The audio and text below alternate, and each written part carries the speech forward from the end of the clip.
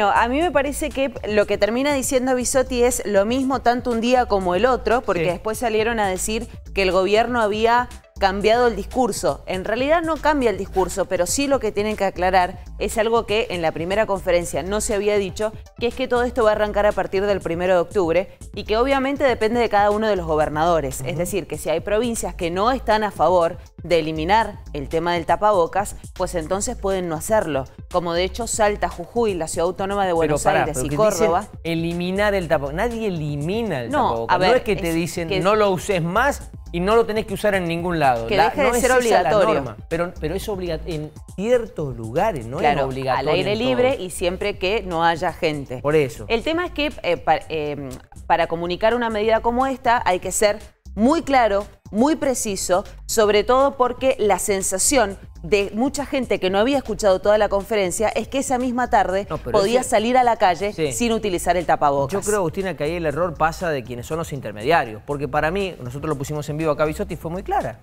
Pero bueno, eh, a ver, eh, pasemos Hay que ver qué es lo que deciden en la provincia. ¿eh? A mí me parece bueno, que... Mendoza tenía una tendencia de aperturista, digamos, del inicio, así que supongo que va a seguir en esa línea. A mí me parece que no, ¿eh? Independientemente de las decisiones que han tomado antes en el gobierno de la provincia, me parece que van a esperar un poco más para acompañar esta medida de la nación. Me parece. En un ratito vamos a escuchar a Tadeo García Salazar y entiendo que da alguna pista de lo que puede llegar a definir el gobierno en las próximas horas. Por supuesto, vamos a esperar a ver qué es lo que sucede. Independientemente de eso, hablamos un poco de la situación epidemiológica, tanto en la provincia como en el país, y ponemos ya la información en pantalla, porque ustedes saben que desde ayer se está vacunando a los chicos que tienen desde 17 años, tanto con la vacuna Pfizer como Moderna. Hasta ayer en la mañana había 4.417 inscriptos, pero después, cuando volvimos a consultar en la noche, ese número había crecido hasta 6.000. Es decir, que hay una demanda muy importante y es importante que tengan en cuenta también que para inscribirse deben ingresar a la página mendoza.gov.ar en el apartado vacunación COVID. Es una inscripción como cualquier otra, tenés que esperar el turno e insisto, vas a recibir o Pfizer o Moderna si tenés desde 17 años. Y además están pidiendo nuevamente respetar el tema de los turnos, que hay un problema bárbaro en este sentido. Pasemos a la otra información, a ver qué más tenemos. Mendoza hasta el momento tiene 4.600 dosis de Pfizer, pero ayer llegaron más al país que van a comenzar a ser distribuidas entre las distintas provincias. Y además, en, los últimos días llegaron 17.000 dosis de Cancino. En este caso, están generando un operativo con los municipios porque, como hemos dicho en otras oportunidades, la idea es llegar a poblaciones que tengan cierta vulnerabilidad por lo tanto, necesitan trabajar con ellos. Estamos hablando de una sola dosis.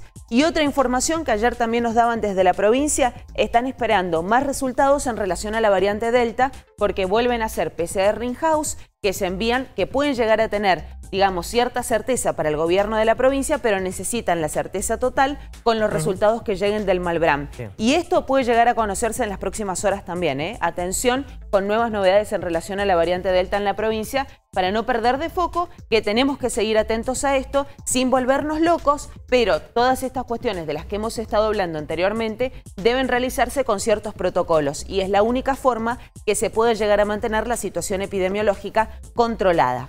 ¿Qué dice Bisotti? Y lo tenemos en la última información. Bisotti lo que dice es que la situación epidemiológica por el coronavirus es indiscutible en el país y es realmente óptima, lo que fundamenta las medidas de flexibilización. Decía ayer la ministra de Salud Carla Bisotti e insistía con esto para que quede bien claro.